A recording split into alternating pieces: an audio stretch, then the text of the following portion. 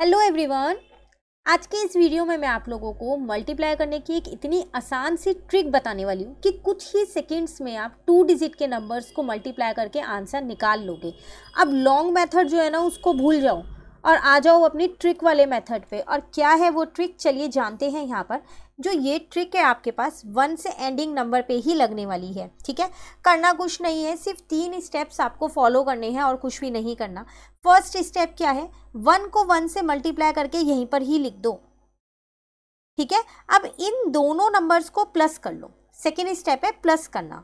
तो six plus two कितना हो जाएगा? आपके पास एट हो जाएगा।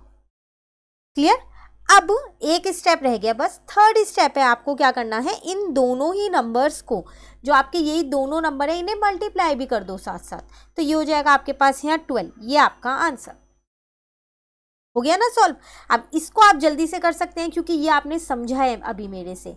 तो वन को वन से क्या one three plus four seven हो जाएगा, और थ्री फोर जा कितना हो जाएगा? ट्वेल्व हो जाएगा। तो आप चाहो तो इसे कैलकुलेटर में साथ साथ चेक करते रहो, आपके यही आंसर आएँगे। अब बात आती है इस लास्ट वाले सम में। वन को वन से तो कर दिया वन ही आया पर नाइन प्लस फोर करूँगी तो थर्टीन आएगा।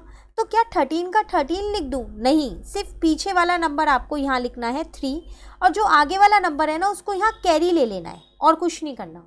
अब इस कैरी का कहाँ यूज़ होगा वो भी बताती हूँ। तो थर्ड स्टेप क्या था? मल्टीप्लाई ना? तो फोर नाइन जा कितना हो जाएगा?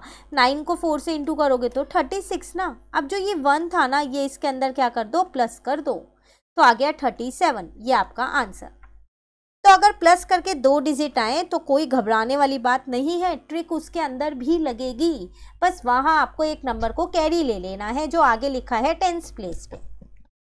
क्लियर तो बाकी सब सारे ही क्वेश्चन अब आप ट्राई करके देखिएगा इसी फॉर्मेट के। इन ट्रिक से सिर्फ़ तीन स्टेप में मल्टीप्लिकेशन डन तो अब एग्ज़ाम में टाइम सेव कर सकते हो आप इस ट्रिक को यूज़ करके।